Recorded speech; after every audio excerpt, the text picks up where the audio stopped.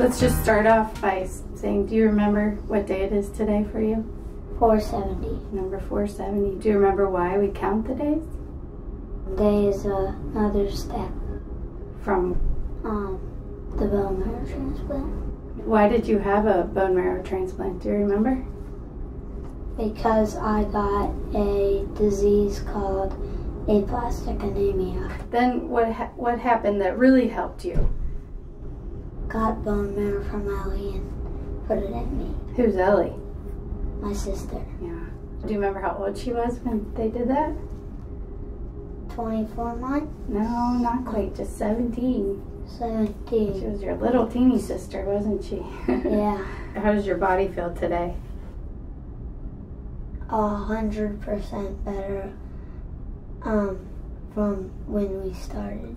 One of our favorite recent stories was we had a friend who passed away. It was in the room next door to us, and he never met him, never even met his parents. You know, my husband and I knew the family well from living there together because you can't eat, drink, or use your child's bathroom in the bone marrow unit. So you're constantly in the lounge. You get to know the other families. It's sort of forced, but it ends up to be a good thing. We were telling him that Ethan had made it, and um, you know, he was obviously very upset, and his little brother said, but mommy, Max is making it. Max is winning, right? And I, we said, yep, yeah, he's definitely winning. He's doing great. Max said, but all of us want to win. Every single one of us on that floor wants to win, don't you?